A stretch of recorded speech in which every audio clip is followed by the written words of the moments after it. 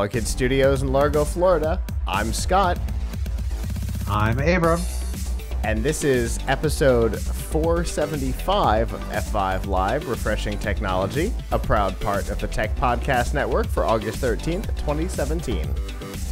This week, Microsoft gets a bum rap, Nintendo gets a new lawsuit, and Netflix gets a few new competitors. Wherever you are and however you're accessing our show, thank you for making us a part of your day. Whether it be Facebook, iTunes, the podcast play app in the Windows Store, um, Google Play Music Podcasts on Android, the myriad of other podcatchers, or anywhere on our live streams, whether it be live stream, uh, Mixer, Periscope, or where else are we? I forget. We're somewhere else too. See, we're in so many places I can't even remember tonight. Um, oh, YouTube. Yeah, the big guys. YouTube being the last one on the list.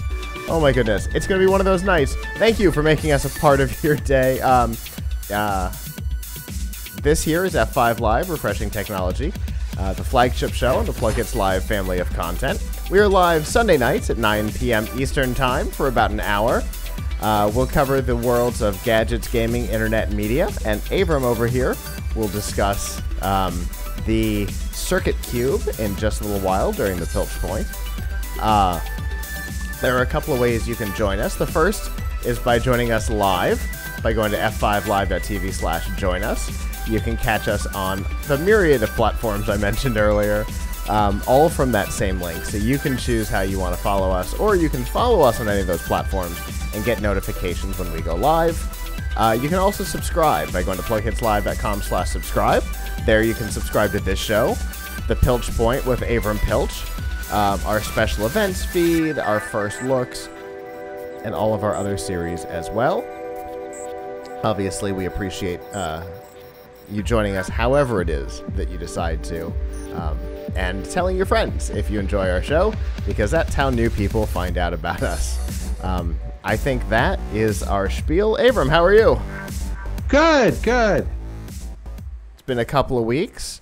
Did you have a good Yeah. uh, week last week?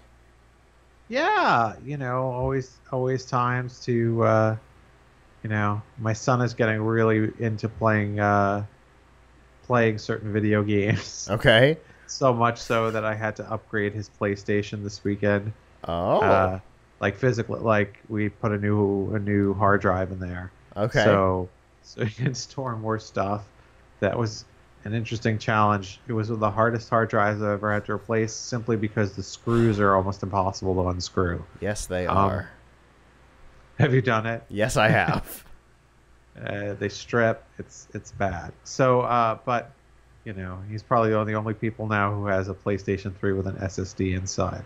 so, so uh, that's that's crazy. But uh, he really loves playing like those Toys to Life games. Like he likes uh, Disney Infinity, and now Sure. now he got a Skylanders uh, set, which is, if you've heard of that yeah. and uh, so uh, you know he was he was really into playing those, and then you know gotten to test some new toys and things. So uh, so it's been cool. We've got a, been very busy at work with lots of stuff coming in, and obviously lots of big news coming up. Yes, indeed. Uh, he he gets to play with a lot of cool stuff, doesn't he? Yeah, when he's older, he'll probably appreciate that other kids don't get to do it. Yes. Uh, you know, we uh, we we try. And one of the things that he got to play with, I'll be showing in uh, the Piltch Point segment. Uh, so Very cool. Uh, we had a good time at uh, at MetroCon this week. I think it's likely that several of our MetroCon friends might be watching right now. Um, we Aaron did a great job. Uh, if you guys were following along, especially the 3000 Brigade on uh, on social media, you saw Aaron as um, the as Cynthia, the doll from Rugrats, which was probably the best received cosplay I've seen in quite some time. Uh, people who were way too young to recognize Cynthia knew her by name, which I thought was kind of fascinating. Um, but the costume contest went well. The the Sailor Moon Dark Dream dance was really fun. I'm glad uh, that MetroCon did that, and I hope that we get to do them again in the future. And Aaron as uh, as Sailor Moon was pretty cool. Um, but yeah, it was a it was a really good weekend. Obviously, it was a convention weekend, so it made for a long one, but it was a lot of fun. We've uh I love going to cons. I know, right? We've got to get you to one of ours at some point. Got to figure out how to do that. I love going to cons. what was the last uh, non-work con for you? Uh, we had one actually in this area not long ago called Li Geek that we went that my wife and I went to. I mean, it wasn't like major like stay overnight. I mean, Sure. people did, but you know, they had like it was a pretty small con, but we know someone who who's like a vendor at these things or Yeah. whatever. So we went and hung out with her, uh, and we saw a couple of panels. Uh, like the biggest star that they had was the guy who played Twiki on uh, on Buck Rogers. Like that's Okay. that's the biggest star that they had at Sure. this event. But uh, you know, uh, that was a small one. I mean, my wife and I used to always go used to go many years in a row to Dragon Con in uh, hmm In Atlanta. in Atlanta, and that was very cool. That's coming up pretty soon. Yeah, when my son gets a bit older and we can take him to that, then then we do, then we'll do it again, because uh, that was a blast. Well, we'll have to we'll have to uh, plan that up because uh, I haven't done Dragon Con. I've done Uh, its its sister big Atlanta show AWA, but I've not done Dragon Con. A number of our cast members do, but I have the not done Dragon Con is like the coolest thing ever. a bunch It of our really is. a bunch of our uh, voice actor friends, like the the Futurama guys who have done some some stuff for our show in the past, uh, they are there often. So be fun to go hang out with them at a convention again. Yeah. Oh, it's so much fun. I highly recommend to anyone who's still able to go and hasn't decided to go yet. Go to Dragon Con. Well, we will have to to make that happen at some point in the future. But for tonight, it's probably time to get down to some news. What do you think? Mm-hmm.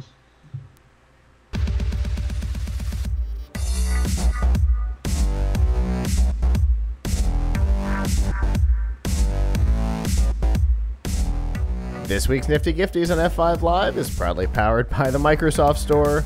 You can get uh, basically anything Microsoft powered right now, whether it be the Surface Pro or laptop, an Xbox One, uh, Office 365, games, or laptops, or the HTC Vive. Basically anything that runs on your computer can probably be acquired from the Microsoft Store. And students right now can save 10% on just about anything. Um, all you have to do is prove your student status, and you can get 10% off on a lot of the stuff that the Microsoft Store offers just in time to go back to school. And you can find out all the products are available by going to f5live.tv slash Microsoft. Now, since we mentioned Microsoft, let's stay on that topic. How about? We don't get to do that very often. um, I don't know why. It's Microsoft's a pretty major player. it's true, but somehow we always manage to to switch on to something else. So let's talk a little bit about Microsoft tonight. Obviously, um, we have talked about uh, Microsoft and the Surface products between us on the show a lot. You got to go see the Surface Pro before it came out. Um, most of our studio is running on Surface branded technology right now, uh, with this the HP laptop in front of me being kind of the obvious exception. But I'm looking at three of them from where I'm sitting right now. You and I have gotten to interact with Surface products for a long time. Um, obviously, uh, lots of people have have purchased them uh, more than Microsoft had suspected. Uh, it when they when they first started to to sell well, Microsoft was like, "Wow, this is not what we expected." Uh, inventory shortages. Hold on, we'll figure it out. So, uh, this week, um, Consumer Reports, who kind of rates products and brands, and sometimes lets other people do it uh, via surveys and stuff like that. Um, changed their official recommendation from recommended to not recommended, which I think is like a two or three point shift in their scale um, on the on the Microsoft Surface family as a whole, um, in particular affecting uh, two products that they have not uh, reviewed, which was interesting, and it's based on a survey of their of their customers, uh, their subscribers, um, who have owned Surface products, on how they feel about the brand, um, and whether or not they have had problems with previous models, and so they have changed their official recommendation from not from what recommended to not recommended, which I think there's at least a neutral in the middle, right? Something like that. I think I think so. So, And It's- and mind you, it's important to note that they're also pulling their recommendation of products that were not included in probably not included in the survey. say that or one more. not. Time. Say they're that again. pulling their recommendation of current Microsoft products. Did you say they are or are not?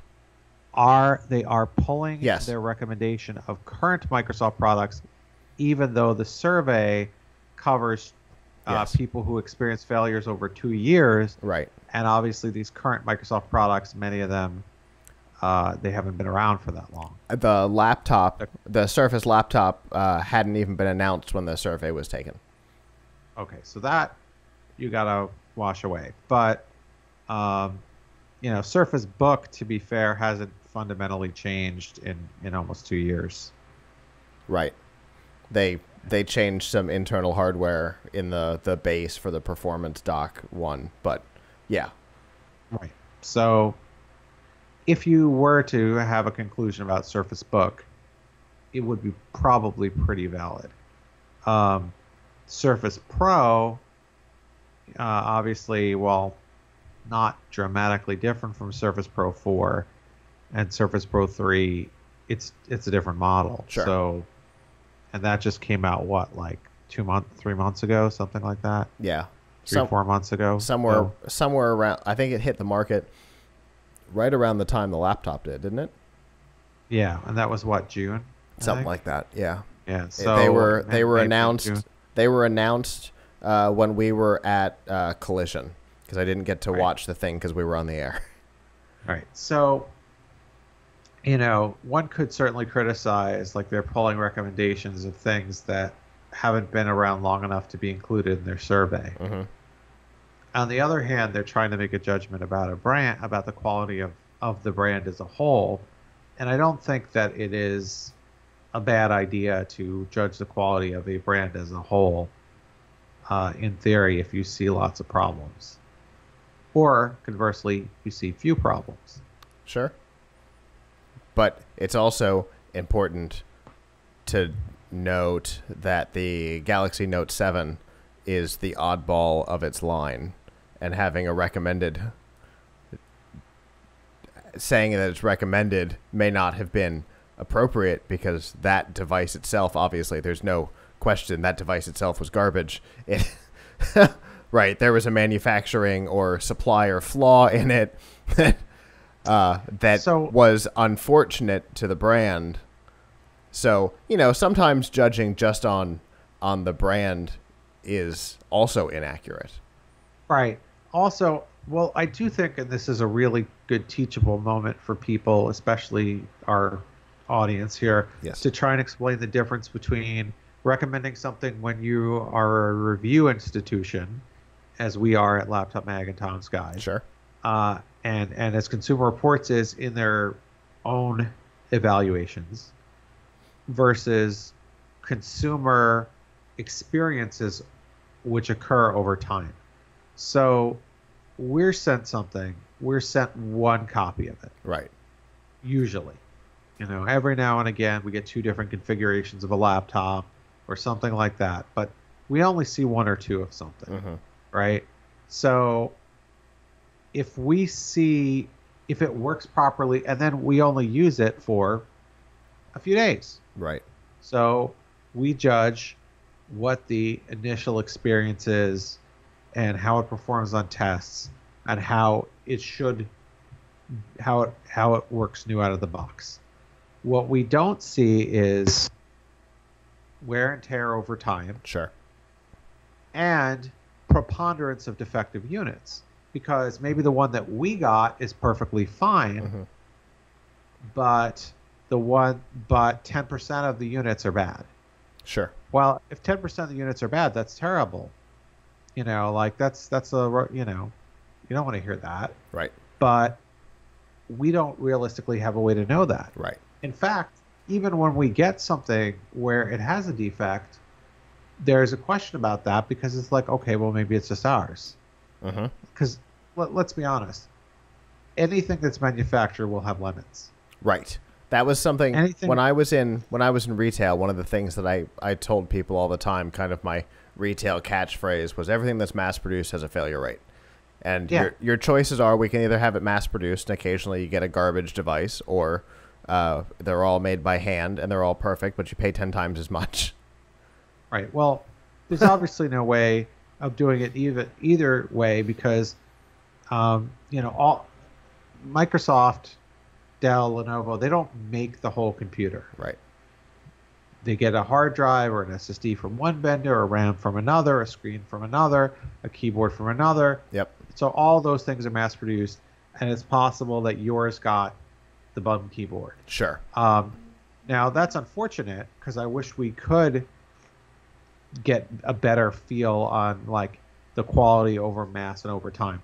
So how how do you do that if if a place like Consumer Reports uh, in their own te- in their own lab testing and our and us and our lab testing cannot possibly achieve the scale to see how many of these are defective? Right. if we get an defective one, it might just be ours or a few, and if we don't get an defective one, we might just be lucky. So, um, or or you might or you might think that the company's actually sending us deliberately looking at the one they send us to make sure that it's not defective. But I have to tell you, after doing this for as long as I have, they're not looking, and we get a lot of stuff that does have problems. So, um, so uh, believe it. I have gotten Uh, all kinds of things that a company has sent me a second one of because the Right, right. first one was bad. So believe me, it happens. Anyway, but to get to the point, what Consumer Reports did is they did a survey of 90,000 people. I do think that that is, in theory, a good way to find out about the quality of products because you're only going to achieve the mass that you need through a survey, through self reporting of, of people. And the only other way that you're going to find out is that com- well there's a couple other ways people can find out but none of them is any good for for the public. Uh, one is that microsoft and other vendors undoubtedly have their own failure rate um, numbers that come from service calls and returns. Sure. but even those don't tell you everything because first of all they're not going to disclose it to you so that's useless to the public. Second of all they're looking for things that were returned or, or called for service but if it's you know if it's past the warranty period and somebody's thing broke Right. they may never find out about it Yeah. If it's a Yeah, one year so as a- warranty and it happens at a year and a half. Right. So so it's all of that stuff. Or things that are not broken per se, but are just not functioning the way that they should. Like sure. oh, not all the keyboards are as snappy as the other ones. You know. So that so there's that. And then there are companies like Square Trade. Have you heard of them? Yes. And Square Trade does warranty service, although I think you have to buy it as a third party. So I'm not sure Yes. how many people actually self select to pay for Square Trade.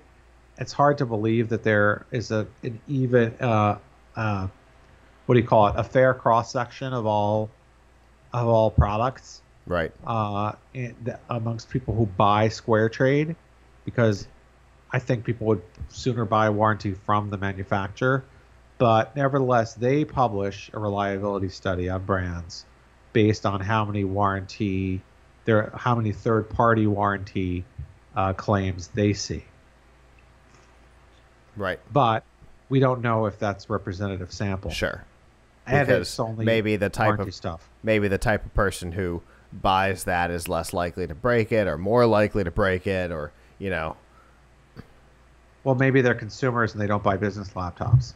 right You know, like maybe they're, you know, what I mean, maybe There's- they're there's all kinds of misrepresentations uh, of consumers in in a cross section like that. But to be fair, there is in uh, in any kind of survey, you're going to end up with some sort of a misrepresentation, right? Because like with Consumer Reports, they uh, survey their customer base, which by its by its nature is going to be uh, have limitations on it. Now, there's no way around that. That's not a bias on their part.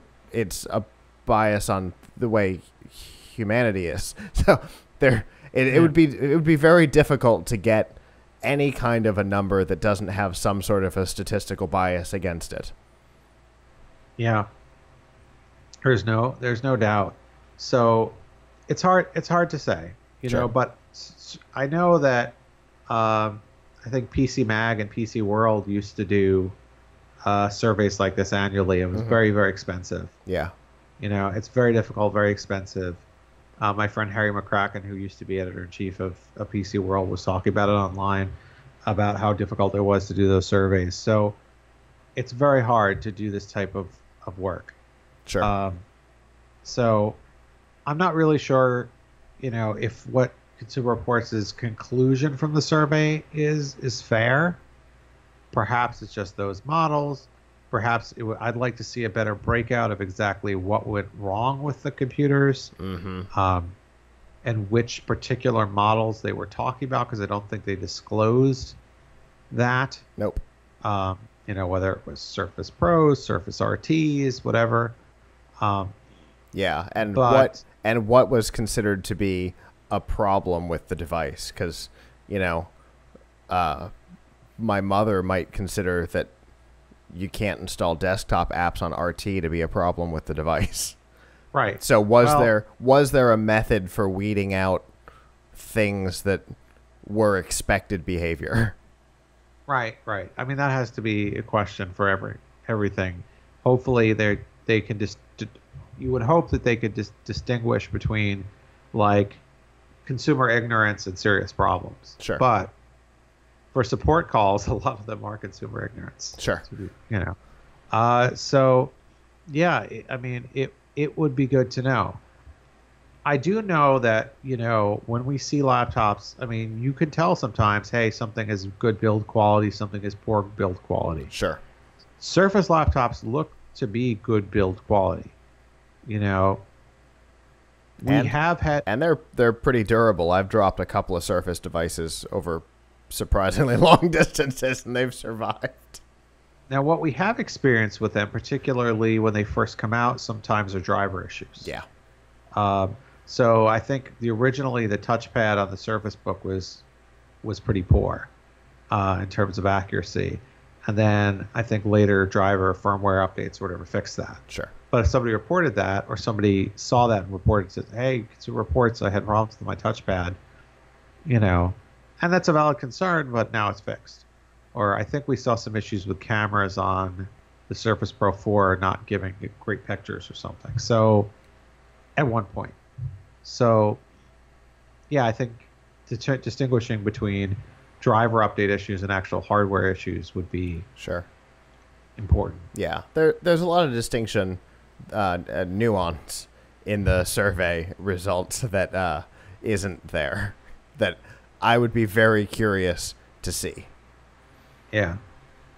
But I mean, so I'm not saying they're right, but I do think that ultimately the best way to find out about quality of a brand is to talk to people who've owned it. Yeah. Um, and whether that is through a survey such as that, which is an attempt to be scientific, or uh, by looking at user reviews uh, on various websites. Yeah. I think I think it can be very helpful uh, for a person who's buying it. I mean, buying a product to to really, if, if especially the product's been out for a few months, like go look and see because you know users can't user there's a place for professional reviews like ours and a place for user reviews. And together sure. they give you value. We test things. We've seen a lot of different products so we can tell you how they compare uh, and we can tell you like is this good or not. Right. But if you go to a you know site that posts user reviews like amazon does um, and you and you look through them there's a good chance that you know you want to look at the negative ones and start to see if you see a pattern. Absolutely. You know, for uh, sure. A, a, great case in point, and I'll just leave it with this: is last year I bought uh, a Samsung uh, washing machine, and I had seen, I believe, Consumer Reports actually gave Samsung as a they didn't have like my individual washing machine. They had given Samsung as a brand like number one or two in in in reliability. I think. Yeah. Reliability overall satisfaction. Oh, Samsung, Samsung uh, washing machines are a good brand. Are good, you know. So there was one in particular I was interested in. Home Depot had user reviews of it. Home Depot user reviews were four stars. So I went and I bought it. I didn't actually buy it at Home Depot, but I bought the same model that was listed on Home Depot. And a- after only a couple weeks, it started leaking. And I went and I looked, and Amazon had a page on my washing machine, and it had a whole bunch of user reviews of people saying this washing machine is dangerous. It actually has exploded on people. Right. Um, if I had known that, I wouldn't have bought it. And it came out like three or four months later that uh, actually uh, Samsung had to do a recall of this washing machine, right? Which had been on the market for like three years, so it wasn't brand new. Um, and because of it, you know, basically if you put it on the uh, blanket mode or something, it shakes too hard and it can literally shoot the front of the machine across the room. Um, so, you know, user reviews user reviews were better than the expert review in that case. But you've got to be careful where you view them because obviously the people at Home Depot there were no negative reviews there. Right, and so in that particular case, uh, my my recommendation is always uh, for stuff like that to uh, to try and diversify your review source. Yeah, look at a few different sites that maybe have user reviews of something, and don't just look at like what the average rating is. Although if it's low, then you're probably seeing a problem. But even if it's high, like look at the problem ones and what did, what is the problem that they're reporting. Right. Um, if I can get you to talk for just another minute, I have to fix a problem. okay. And I'll be right I back. Can, I can talk and talk and talk. So, yes. Be these would I buy the Surface Book or the Surface Pro? Yes, I would. I would get them um, even if Consumer Reports is to be believed, it was still a quarter or a fifth of people experiencing some kind of problem within two years. We don't know if that's a trend. We don't know if it affects particular particular models that are available today, uh, and we do know that these are good good products that that people like. But um, you know, and the Surface Book in particular it's a really nice, unique product. So, you know, we all have to have to take our chances with these things. Certainly, when you buy a, a fifteen hundred dollar laptop like the Surface Book, you ought to expect it to last a few years. Whereas when you buy a sub two hundred dollar laptop, well, yeah, it probably will last a few years also, but your expectation should probably be less. Sure. Like when you drop it. Right. yeah, uh, your uh, your drop test on a three hundred dollar laptop versus a twenty three hundred dollar laptop should be uh, different expectations. And yet, and yet, uh, you could be fooled. We just reviewed a laptop from ASUS, the ASUS Flipbook C213, 349, and you can drop it from four feet and it'll be fine. Wow. Uh, and they have another another model, the C202, which is not a convertible, which is just a straight straight up clamshell Chromebook. That's a, usually under two hundred dollars. Same thing if you drop it four feet. We've dropped it four feet onto concrete. Oof. Uh, because they say that you can, because that's made for students. Gotcha. So, uh, I mean, it, it kind of does give make you feel like other companies should be ashamed. Like, wait, you're selling this for a thousand dollars and you can't drop it onto concrete, but here's something for two hundred dollars that you can. Right. Maybe it's because there's so little in it. I don't know. That could be. Uh, yeah, I've dropped my Surface Book from a scary height and was totally afraid that it was wasn't going to come back. So I total I understand. it did. It came back just fine, but I was definitely afraid that that was the end of it. Anyway, um, I guess the real takeaway here is that since there's no foolproof way to determine the value of a brand or a particular model, make sure you diversify your information source before you make a decision so that you don't end up with a washing machine uh, spurting water all over the place. Because Home Depot said everything's good, and Amazon's like, nope, garbage. So yeah. be, just be aware. Diversify your sources. Go look at what laptop and tom's guide say and then go look at amazon and go look at best buy. Go look at user reviews in lots of places and see if everybody lines up because they may not. There may be a problem that that exists that's only being reported in one place. So i guess that's the big takeaway there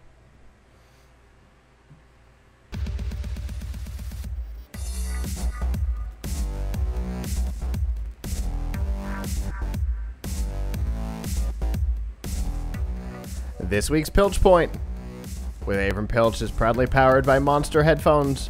The headphones on my head right now, the Monster Elements, available in on ear and over ear, plus a whole line of in ear uh, and on ear and over ear sports headphones and Bluetooth speakers from the tiny little hotshot to the giant Monster Blaster, and of course, all the cables to connect all of your devices, your home entertainment center, your computer, your, the power, all of that available by going to f5live.tv slash monster.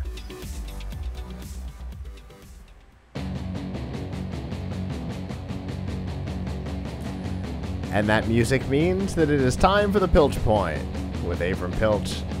uh, what? Where am I? this isn't the greatest opening ever. I apologize, Avram. Uh, online editorial director of Laptop Magazine and Tom's Guide, Avram Piltch. Hey, Avram. Hey, Hey, still here. Still and here. and I know who you are. I promise. You do. Fantastic. You heard of me. I have. I've only done that intro for like three years. You would think that I'd be able to get it right at this point. Yep. Apparently, you'd be wrong. Well, so one of my one of my uh, jobs and one of the things that I do lately is uh, I ending up reviewing a lot of toys, like specifically toys to teach your kids about uh, either uh, building th- electronics or robotics or programming. Uh, and I have one here that's kind of interesting. It's called uh, Circuit Cubes. So uh, this uh, this is a these circuit cubes. This is this one here is like a little car that that I built with it, which is one of the things that they they recommend. The circuit cubes kits. There's three of them. They're uh, $59.95. So for STEM toys, they're pretty cheap. For regular toys, you know that's that might be expensive, but when you consider that like the Lego, the Lego Boost is what 150 159 dollars, and a lot of robot kits are hundreds of dollars. Uh, so uh, you know this now this does not teach your kid to program. What it does teach them about is wiring and electronics, and it's really cool because it completely Lego compatible and works with Legos or other Lego compatible blocks. So it comes with a set of very few blocks that you can use to make this car. They have two other kits. One makes the thing that draws, and one makes a like kaleidoscope thing. You can actually there's a few different things you can make with it, but you can also attach it to your own Legos. So what what we have here is there's a the circuit cubes are there's a battery module, which is this blue one, and that charges up over USB. There's an LED module, which is this yellow one, and then there's a motor module, which is this pink one. Uh, I have them plugged together now, and you can see I turn on, the wheels start spinning on this, Sure. and it lights up. Uh, but what really is important is what you learn from it. So the blue one here, see I take it off, um, what you learn is uh, it comes with these wires that you can actually use to connect the things together. But also what you can do is you can actually attach, uh, see there's metal points on here and there's metal points on the other electronics cubes. And so if you put the metal on the metal um, with them, it actually should, see if, I think maybe the battery has to be below it or something. You can put the metal on the metal here and without even establishing it using a wire connection, see I put the, the motor in on top of the motor and forget these wires, they're not actually doing anything. It's traveling, the electricity is traveling through the metal into the motor one.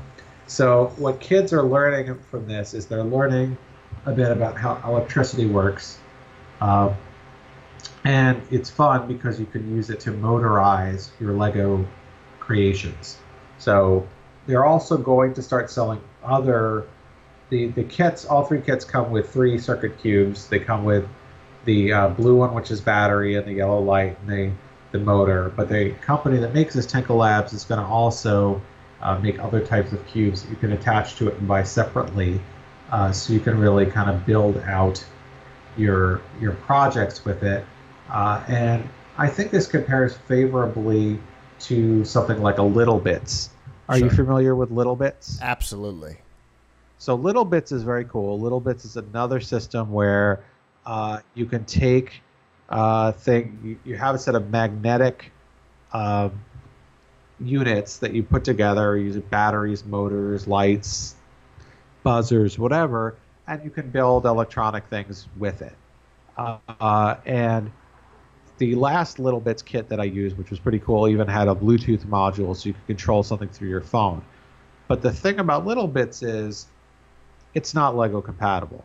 So so what that means is it's good at like your for you it's better at teaching you about electricity because you got to plug all these things together although you're not using real wires you're using magnetics uh, and then but if you want to make a car with it you got to like this really kind of chintzy uh, plastic base with a little wheel and then you got to put like a a piece of cardboard on top of it or whatever and like that's your car uh, this is is good because because these things have like Lego stuff on the bottom and top.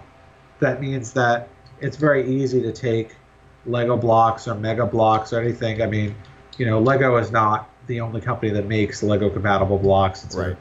Not patented anymore, so a lot of people can make them. And then, you know, it's very easy to kind of bring your Lego projects or build things with like really serious blocks and wheels and whatever because they can attach to the to this. So uh, it's cooler as a toy kit. It does teach kids a little bit about electricity. Um, I wish the tutorials were a little more. They it comes with a little paper book that tells you stuff. There's no app or anything for it. Um, you know, I wish it was a little bit more robust in teaching you things about like electricity, like positive, negative, and things like there. There's Yeah. a plus minus on here, but they don't have any explainer in the book to say like, oh, this is why you need to ground something or whatever. Now, this is pretty idiot proof. I mean, my son liked reverse the wires, whatever, and a lot, a lot of it still worked. So it obviously didn't explode or anything. So, you know, it's simple enough that even a five-year-old can understand it. Although it's actually made for kids a little bit older than him. Um, so it's it's a nice start, and at sixty dollars, it's really not a bad price at all. Uh, and I'd like to see where the company goes with this, uh, so that they're maybe you know build it out so you could actually have more different types of of cubes that you could do more robust projects or add more motors to it or Sure. Or, or something. You know, sensors would be nice. Uh, but a lot of kits have those things and are a lot more expensive than this and a lot less simple to use and, and don't work with your kind of existing stuff Yeah. like this does. So uh, I think this is pretty cool. I think it'll be a pretty cool gift uh, for kids around the holiday time. Um, you know, I think they'll spend a few minutes learning and, and more time playing. And maybe the playing will be a form of learning because you definitely want kids to learn about how circuits work and, and how electricity works. Uh, and I think this is a start on that on that path. Sure.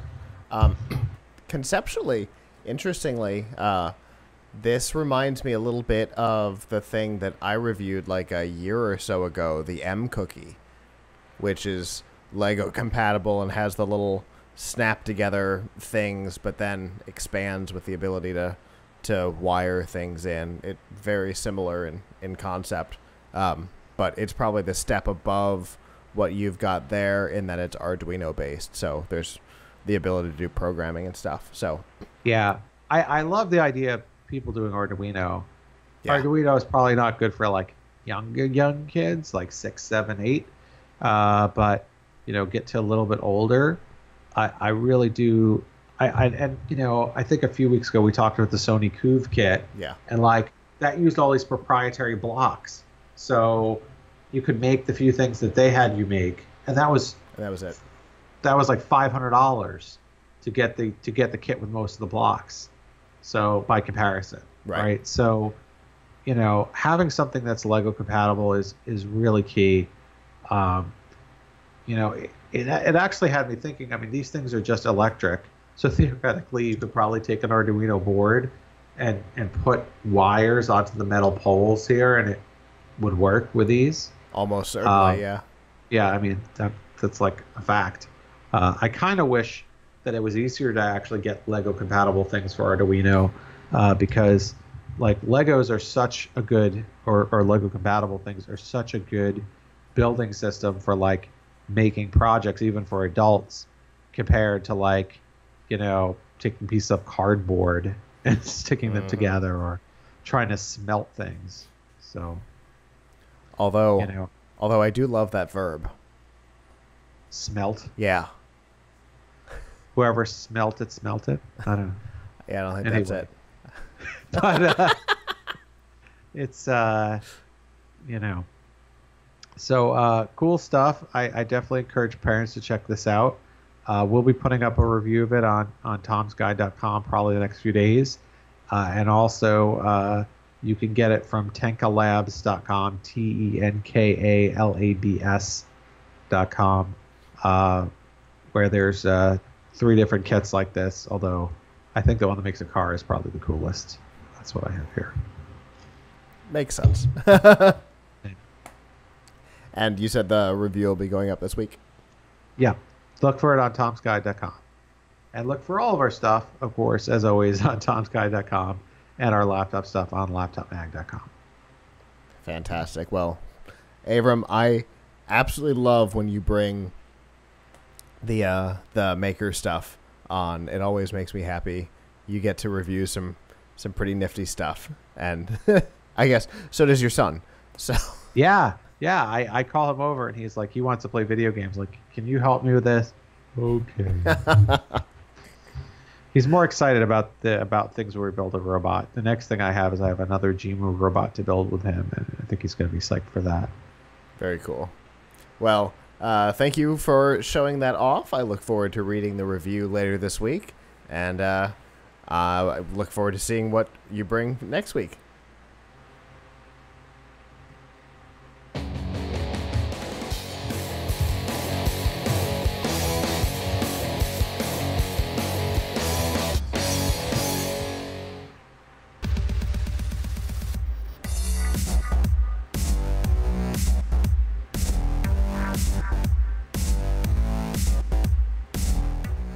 This week's Extra Life on F5 Live is proudly powered by Razer. Create or destroy. Get $500 in creative software or $200 in games when you buy select Razer Blade laptops right now with uh, Core i7 processors. you can get uh, in the creative package, you can get uh, Corel Painter and Video Studio and Aftershot or on the game side, you can get World of Warships and um, Counter Strike, Robocraft, Euro Truck, a whole bunch of uh, cool games. And of course, there's a whole slew of, uh, of laptops available in that range. Plus, if you're not in the, the market for a laptop, you can get keyboards and mice and headsets, uh, gaming headsets, and giant mouse pads that are the size of your desk, and all kinds of other accessories by going to f5live.tv slash Razer.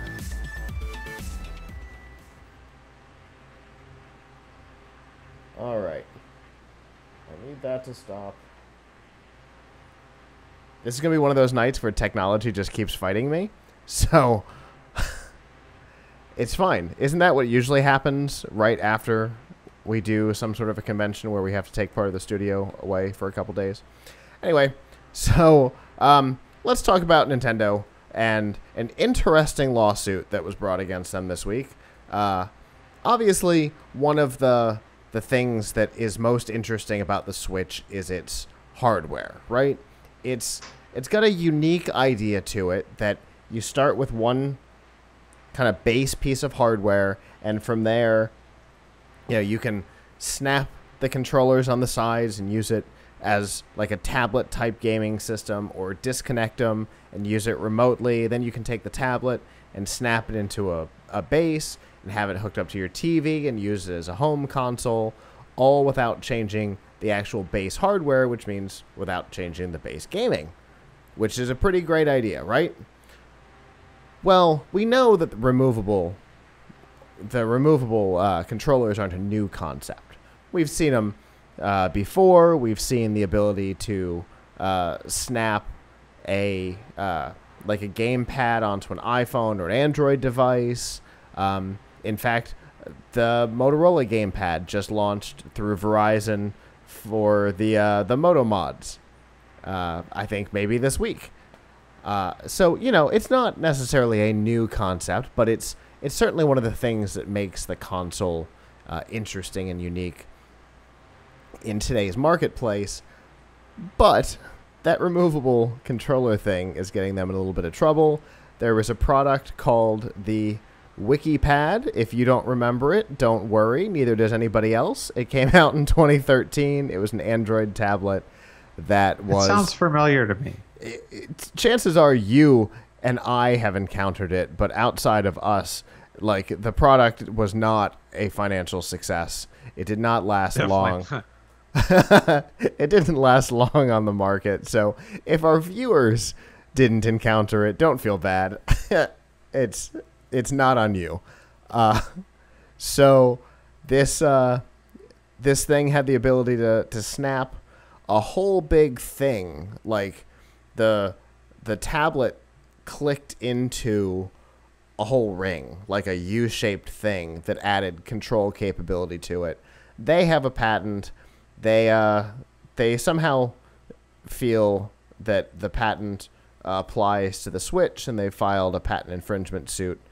Now, you would think, obviously, that they would have filed this when the technology was announced, but nope, it was this week.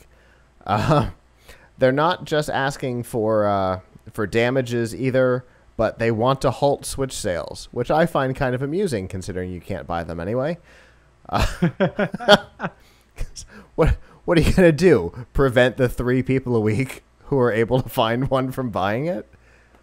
Whatever. Anyway, so it's the beginning of a suit that a very small company is trying to bring against a very large company over pretty mundane technology. So, I mean, the the chances of of this patent being upheld are probably pretty slim, but the the idea of of wanting to stop Switch sales was the thing that made me kind of laugh the hardest. Yeah, I mean, I guess it really depends on the strength of their lawyer. Sure. Um, these things happen a lot, and it really does. So I'm looking at some pictures of the WikiPad now. Uh, it does kind of ring a bell. I think there was another thing like this that was Was the WikiPad Windows or was the WikiPad Android? Android. There was a Windows system I remember that came out around the same time. Uh huh. Maybe maybe earlier that you you like you basically had a Windows tablet and but you had like it was held in a container with two joysticks, Mhm. one on either side. Yeah. I'm trying to remember wh- which. Do you remember that? Yep. I'm trying to Absolutely. remember the name of it. I can't remember the name of it either, but all of that leads to, you know, uh, a problem in court of trying to to uphold your patent when somebody's like, there was a Windows tablet two years earlier that Um, that did the same thing or came out around the same time and you left them alone. At, I've said this before, and I'll say it here now. I think the patent system is hopelessly broken. So Yes. there's a there's a good possibility that. So I think if this company doesn't have a lot of money behind them, then then Nintendo certainly has the resources to outspend them on lawyering. sure. But, um, but you know, I wouldn't put it past a judge to uphold this kind of patent because think of some of the Totally other possible. Captain Obvious things that have been upheld as patents in the past. Uh, for example, one-click shopping. Remember that one? yeah. Uh, you know, was upheld as a patent for Amazon. Rounded corners on a phone Yeah. were upheld as a patent for Apple. Fair enough. Um, Despite the fact that they weren't the first ones there. right. Uh, let's see. There's a whole bunch of patents related to tapping icons. Yeah. and things like that. So the patent system is horribly broken. It is. They shouldn't. I think, frankly, the thing to do would be not to allow patent for anything anymore. Certainly not anything to do with software. Uh, but uh, you know, uh, there's just too much money tied up in trying to sue people Uh huh. for things. I mean, like if you have an original idea today, Nonsense. if you have an original idea today, probably somebody patented something similar enough to sue you, Yeah. so that you can't get your small business off the ground. right. Uh, Because because patents used to be awarded for uh, very wide things. Like there was the podcast patent that was, thank God, just stepped on like a week or two ago. Um, because it was the most generically written patent application I've ever read.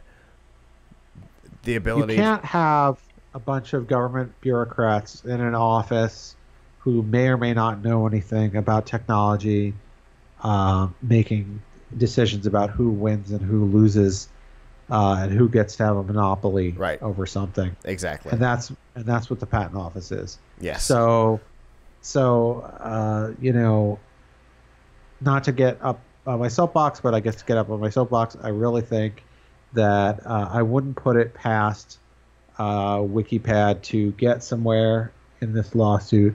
Ultimately, no one's going to stop selling the Switch. If they, if Nintendo has to, they'll have to pay them a dollar a unit or something Mhm. like that. But it's an extortion racket exactly. and and uh, the government should not be in the business of enabling extortion rackets. So, um, so I hope that they lose because the idea of putting joysticks on the side of a tablet is not such an original idea that it deserves to be protected by the government. Right. I, I mean, uh, I have I have an old uh, BMW. Um, what is it? One of the one of the uh, like car tester the the mechanic machines. That's a Windows ninety five tablet that snaps into a thing that adds additional control physical controls to it. How is that any different? That's a Windows 95 machine, right? So- Exactly.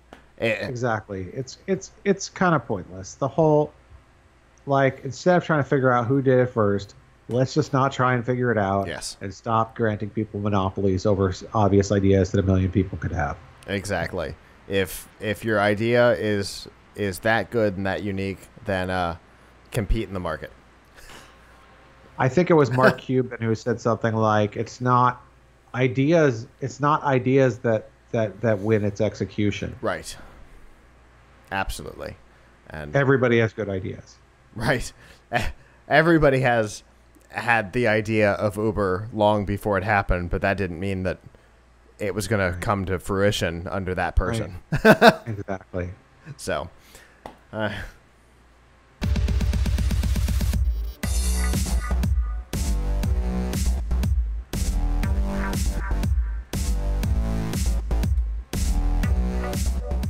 this week's news from the tubes on F5 Live is proudly powered by RiffTrax. Make fun of movies, or you know, let the professionals do it for you because that's what they get paid to do. The guys who used to do Mystery Science Theater 3000 are back and doing what they do best making fun of movies from blockbusters to The Little Unicorn. They've got a little bit of everything. The way it usually works is for a couple of bucks, you download the MP3, play it along with your DVD, Netflix, Amazon, wherever you happen to have the movie, and laugh. From time to time, they shake things up and do a live event. Their next live event is this week, August 17th, with a replay on August 24th. It is Doctor Who, The Five Doctors, in theaters nationwide through Fathom events. And you can find all the theaters that uh, will be showing the live event and all the movies that they have already riffed by going to f5live.tv slash rifftracks with an X.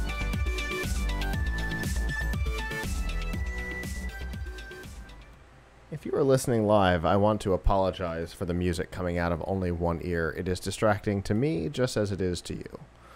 and I do not know why it is happening. I promise to have it fixed by next week. If you're not listening live, then this uh, warning won't make any sense to you because it will have sounded perfectly normal. Uh, I'm not the only one having some problems right now. Snap is also in some trouble. Uh, you like that transition? I got a laugh out of it. Yes. That was Yes. good. Um, you know what else? I think. Uh, you mean the glasses couldn't save them? or the uh, the stealth purchase of a selfie drone company that they announced uh, in their quarterly report. Yeah. Yeah, no, it didn't work. They have managed to do something that Twitter was incapable of doing this quarter, and that is increasing their active uh, user base. In fact, they increased it by 7.3 million, which puts it right about uh, the same number of active users as Twitter. But that's not the number that matters, right? Uh, their revenue was up huge over last last year, a hundred and fifty three percent increase over this quarter last year, uh, bringing it to one hundred and eighty one million dollars for the quarter. But their costs for the quarter were four hundred and forty three million, which um, obviously the first number is supposed to be bigger than the second, not the other way around if you want to keep your lights on. So, um, spending $250 million more than you made, not a great way to accomplish that. Go ahead. Just, uh, just give uh, SoundCloud a call to see how well that's working for them. so, Yeah. it's not great. Uh, well, it seems like Snap would be a good acquisition target for somebody. Yeah, I agree. A growing social network that's not really probably a long-term solution on its own. Right. You know, it probably not gonna. I don't know. It's it's not gonna be a platform of the future Right. or something. I don't know. It seems more like a flavor of the present. especially when you take into consideration that their active monthly users is less than its its ripped off feature in Instagram. Just the number of people who use the Snapchat feature of Instagram stories is like double or more uh, Snapchat's own user base. I mean, you know who could use this? Any company that's looking for some more street cred in the uh, in social media. Yeah, So Microsoft Google. could use it. Google could use it. yeah, Apple. since I- I mean- Microsoft seems to have decided, you know what, social networking, not our thing. We're fine. But Google keeps giving it a shot with Wave 3.0. I mean, Google Plus. But you know, I understand because it's imp- like you want to be there if you want to be the lynch, especially Google wants to be the linchpin, like being the service that you use all the time. So it's a little bit scary, I think, for Google that like there's Facebook and Twitter Uh huh. that are kind of, um, you know, other places that are vying for people's time. Right. And services that are used by not their employees. Yes. I love to So- give Google a hard time about that. So you know, could they get some street cred with Snap? I don't know. Mayhaps. I mean, who who knows? Uh, I mean, while Microsoft, well, Microsoft is certainly not trying to be another Facebook like Google Plus was. I mean, they do try to go into social things. I mean, And they own have LinkedIn Beam. now. They own LinkedIn. They own Beam. Right? Isn't Beam somewhat? I mean, Beam is a Mixer, Sir, Mixer. It- so it, was rebranded like six weeks ago. It is Mixer So- now, and we are on it right now. If you're watching us on Mixer, thank you. So I do think that there's opportunity there for a company who wants some street cred Sure. Uh, with the young folks. Uh, I I kind of feel like Snap is is one of those sort of trendy things that's not going to to last Yeah. um, because there are a lot of photos. There's you know Instagram. Instagram ha- what Instagram has going with it is that it's owned by Facebook. Right. You know, I also would think Instagram would have a limited lifespan. I was, frankly, I frankly underestimated uh, how much people would care about Instagram. I still don't totally get it. Like, you can share your photos anywhere, but and Yeah. yes, they will put a filter on your photos. So what? You could do it yourself. I was gonna say the the Microsoft camera for iPhone. Uh, I, I think in iOS 11, the iPhone camera itself has filters built in. Right. You don't need you don't need a social network to get filters. right. So I don't totally understand why Instagram is such a thing. Yeah. Um, but the fact that it's integrated with Facebook, well, okay. Facebook, you know, has a lot of tentacles and things going for it. Snap trying to be just a photo service on its own, photo video service on its Yeah. own. I don't know. I think they were trying to go the way that Instagram went and grow their their user base so fast that somebody bought them. But the thing that Instagram had going for it was that its cost of operation was pretty low in the grand scheme of things, and so it was actually uh, doing a break even when Facebook bought them, not hemorrhaging cash. Yeah, but someone, I guarantee you, someone can, some there's someone out there who thinks that the price is right Absolutely. they will buy Snap, and they will, sad to say, probably lay a bunch of people off or kill some parts of it, yeah. integrate it into whatever thing that they have going now. It doesn't make a lot of sense if you're just buying it as your only thing. Like it has to be Yeah. integrated into something that you have now. Maybe Sure. it's Verizon. They seem to be Ver- all all over buying things that on their own don't make sense, but together might. I mean, it make that makes more sense for them than uh, than Yahoo does. Than the uh, the Verizon nostalgia unit. Yeah, right. It makes more sense than uh, you know owning Engadget does. So, you know, because because I mean that that puts them, you know, that's a major service. They can preload it on all their phones. Mhm. And they can try to drive their users toward it and make some. Maybe they can make some kind of value add for people sign up for Verizon, and you get something with Snap. Sure. Maybe you get snap glasses. I don't know. Uh, so, uh, which by the way, I love. I we we had we had a pair in the office. I love the snap glasses. Do I you? love the idea. I love the idea of the snap glasses. The Um, the hipstery look doesn't do it for you though. No, I like that. I like the Oh. hipstery look. Actually, Okay. I like I like the turquoise one. I think they actually look really cool. The what I don't like is that you have to use them with snap. Right. Fair I would, enough. I would I would love it if I could use them with like all kinds of services Yeah. and you know use them for streaming or whatever. Like I'd love to do like a live stream out of those. That would be awesome. Yeah, it would. Because like they they did a really good job of miniaturizing it and getting it right in here on the glasses, so it's very inconspicuous. It's like the anti-glass. So you know, so I think they did a fantastic job with that hardware. It's just a shame that you have to use it with their service. Sure. Yeah, I I can totally appreciate that.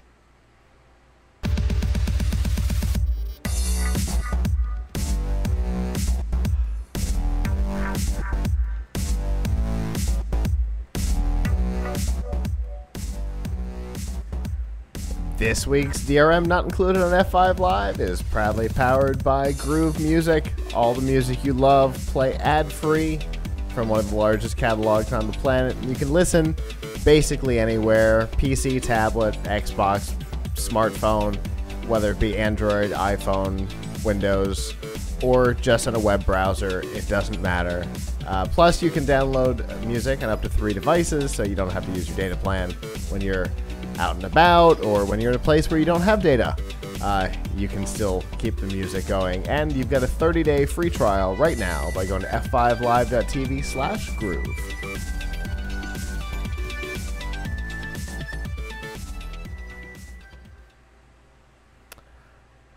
Okay, so by now everybody has heard.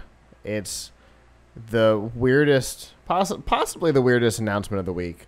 Um, Disney has decided that it doesn't love Netflix the way that it used to, and uh, they plan to create one or more streaming services of their own. Uh, I guess to compete with or to sit side by side with Netflix and or Hulu. Um, it's an interesting move.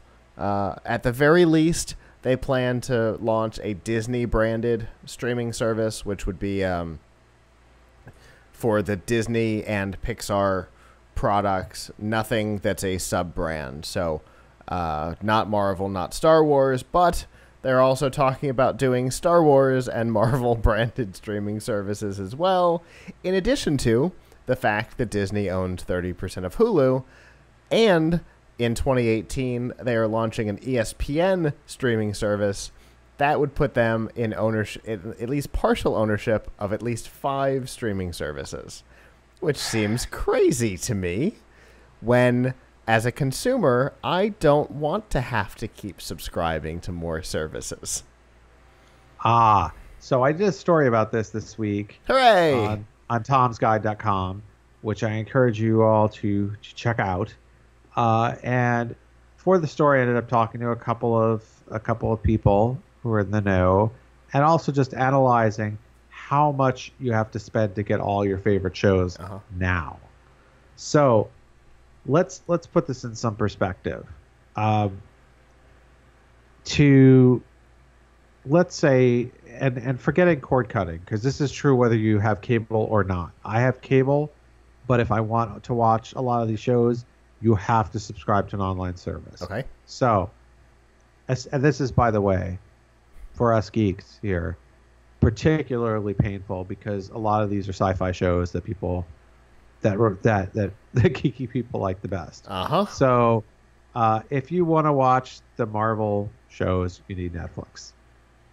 If you want to watch uh, right now, you it may be the case that you will then also have to get Disney, uh, but you would still want Netflix because you still want to watch Stranger Things. Yes, So- I do. Right.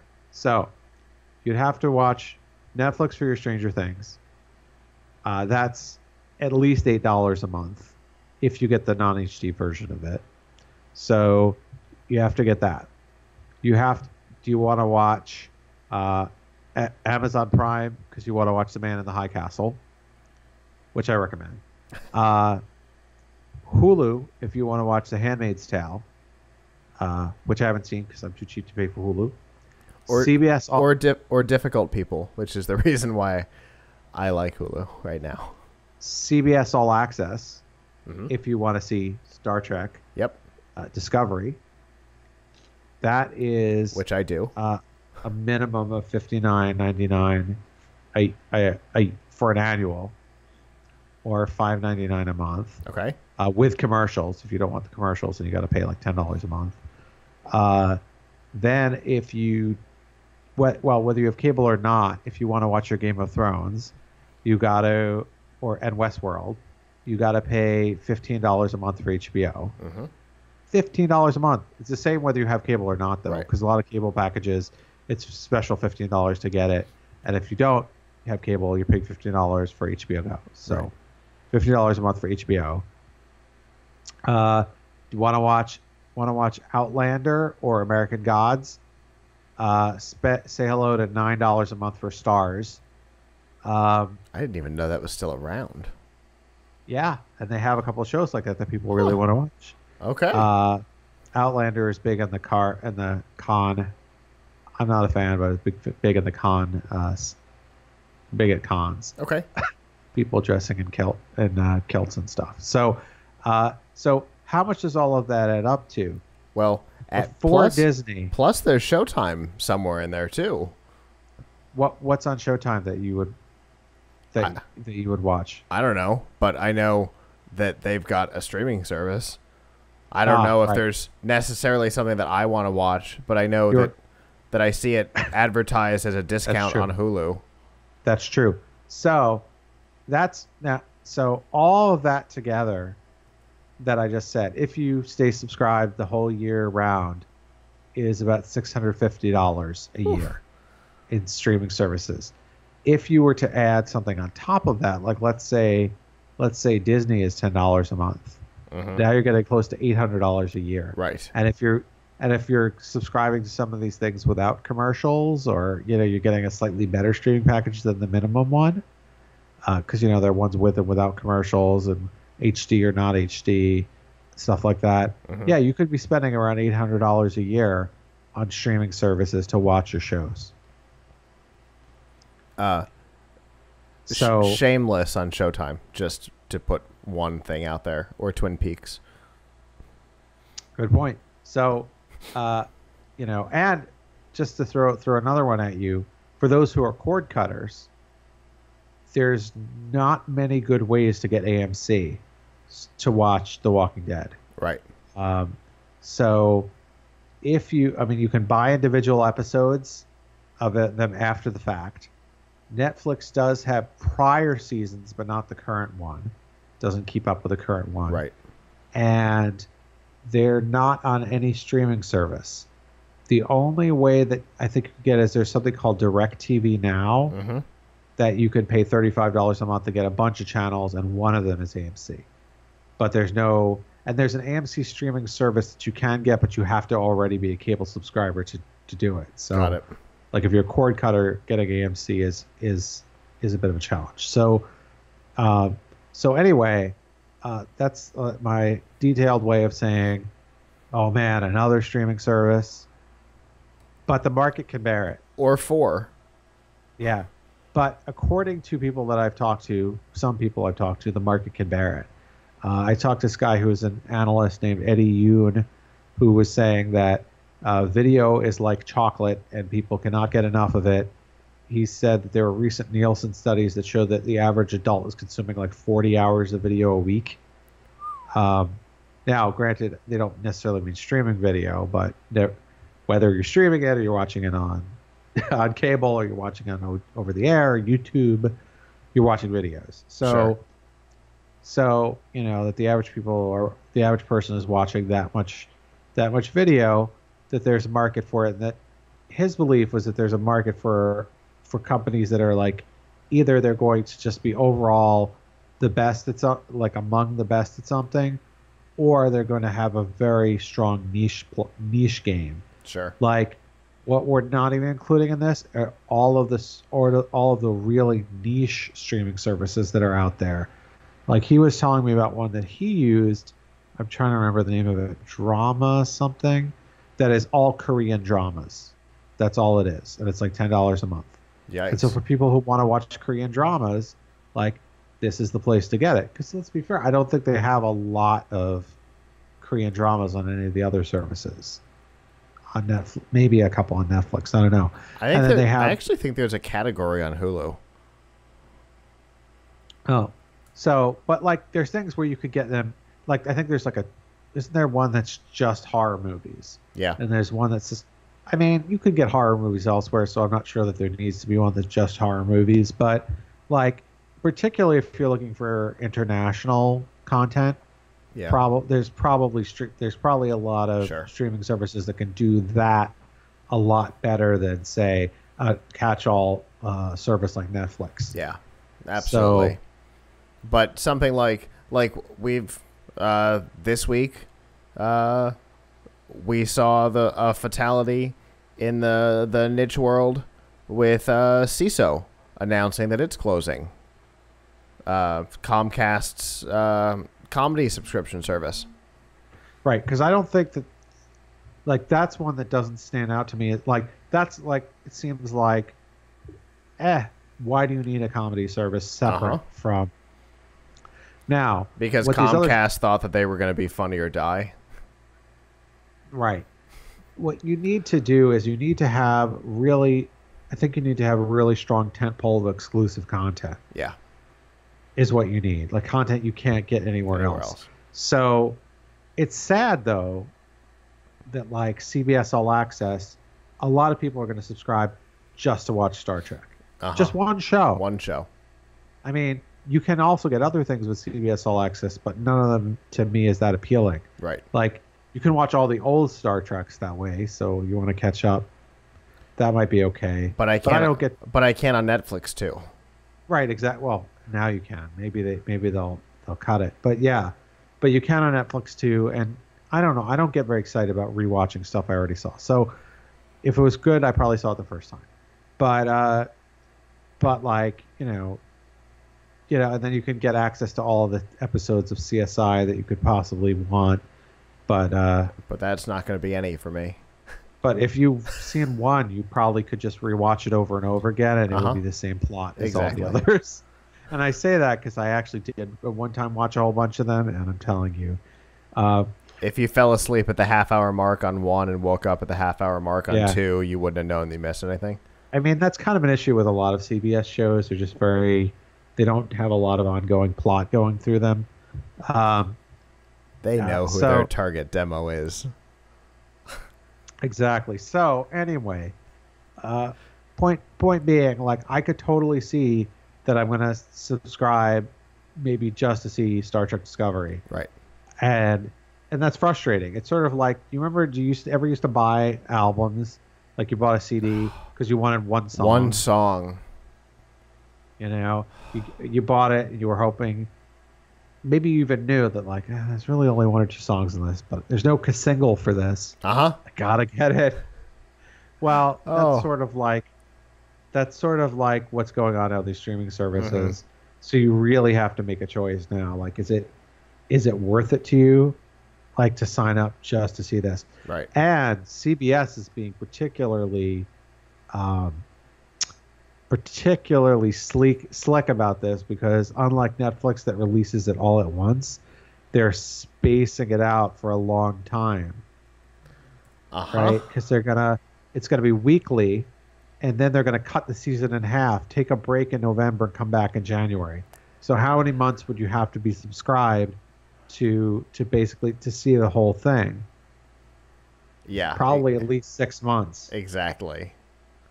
At which point, hopeful, at which point maybe it's not worth it for you to unsubscribe, or and or they have yearly plans that by the time you paid for six months, you probably actually almost paid for the full year. So, you know, there's, uh, you know, I think I think a lot of companies are going to be doing this now with exclusive content. And by the way, I have, uh, you know, I have one word, uh, two words for Disney that if they want to like do that, I mean, first of all, Disney has so much content, they don't need so much content people want. They don't even need to come up with original content. Yeah. But if let's say they were to make a Star Wars live action show, uh, which is you know been rumored as coming to regular TV for like ten years, um, you know, but let's say they were to look at what CBS is doing with Star Trek and say, oh, we can do this with Star Wars. Um, I mean, they'd be golden. Holy cow! I mean, Yeah. Well, so, so I think the prospect for Disney is very good. The prospect for, you know, the little mom and pop horror uh, streaming service, uh, maybe not so much. and even but there is a even even Comcast. players. Yeah, Even because, Comcast wasn't able to do it. because they didn't have a compelling reason to exist. Right.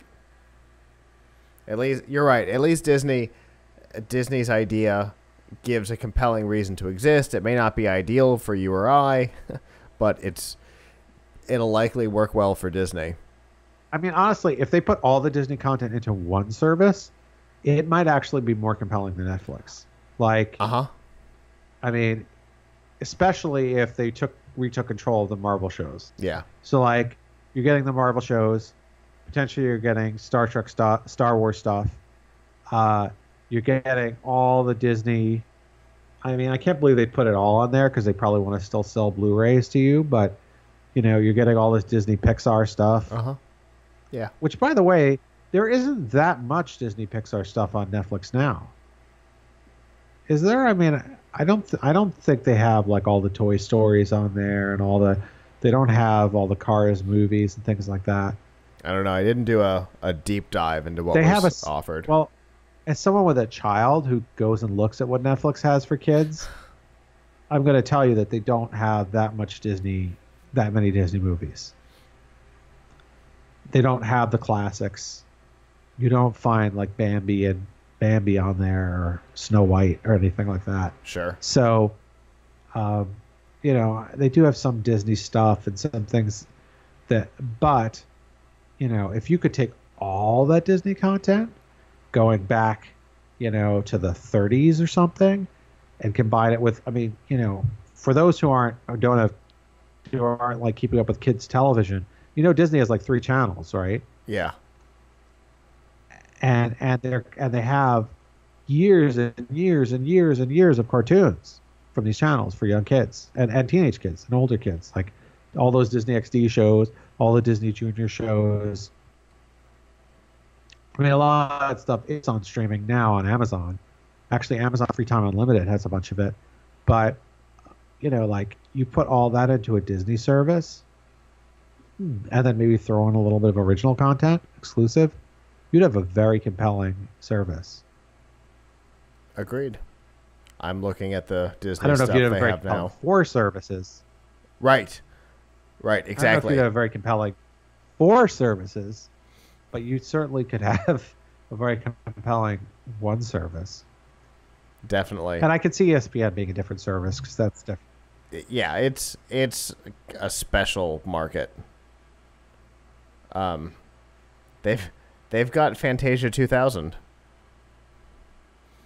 But not Fantasia 19, whatever, 44, whatever year that was, original Fantasia. I don't know the order in which they're showing these to me. So I don't know if they're temporal or because They ha- I mean, because there's Air Bud, which I feel like was in the 90s. So maybe it's temporal. Maybe if I do a big, nope. Yeah, no original Fantasia. I'm telling you that, that and I mentioned that because I would have shown that to my son because that's actually like my favorite Disney movie. So, uh, of the classic Disney. So, Sure. yeah, I mean, there's so there's a lot that's not there now. De- Netflix, by the way, will be fine. Yeah, I do think if they lose the the Marvel shows, that could hurt a little bit. they won't lose Um, the things that are uh, exclusive licensed. Um, Disney did say that that the the things that came out as Netflix branded Marvel content will stay with Netflix.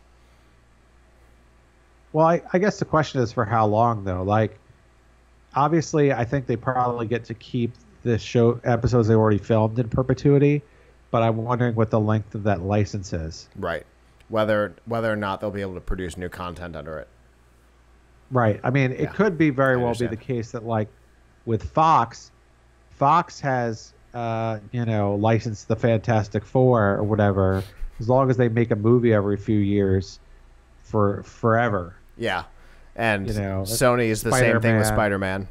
Yeah, Sony with Spider Man and and uh, and uh, and with who it was Fox's X Men, right? So with Fox and X Men, as long as they continue to use the the license, they can do it. Right. But I'm not sure.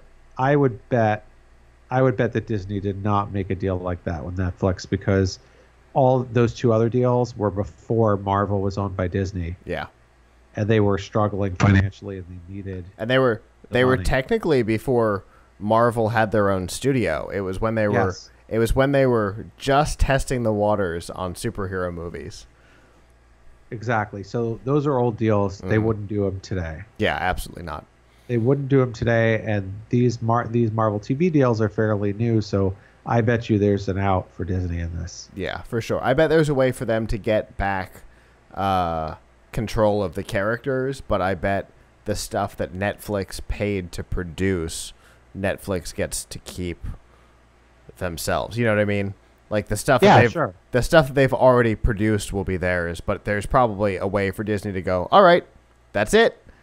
Uh, uh, Jessica Jones come, comes back home. Right. And that I think is a danger Netflix. Because yes, okay, great. So they've got this archive, people have watched it. Like, what's Yeah. going to keep people coming back to Netflix? right. New content. Exactly. Uh, so we'll we'll see how all this goes. Um, it doesn't begin until at least next year uh, for the beginning of for the the first round, um, and then like the the Marvel and uh, and Star Wars contract uh, as it exists now. I think runs through either 19 or 20. So there's there's quite a bit of time before they have to decide whether they want to create their own, you know, special services or put it all under a Disney brand. And then Netflix has to figure out what to do because you know they plan to have what was it, fifty percent original content by 2020. I bet, uh, I bet Marvel factored into that number. So Yeah, I mean, unless they do get to keep to keep doing it. I mean, if I were Disney, I would not let them keep doing it. Uh, although they've done a fantastic job, yeah, absolutely. and. I don't know if Disney would do as good a job uh, with those shows because uh, look at Agents of Shield. Sure. it's not bad, but it's not like at the level of Daredevil. Right.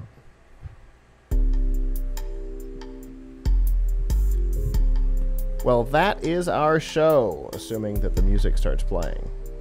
Which I don't know if it is. Whatever. One of those nights. All right.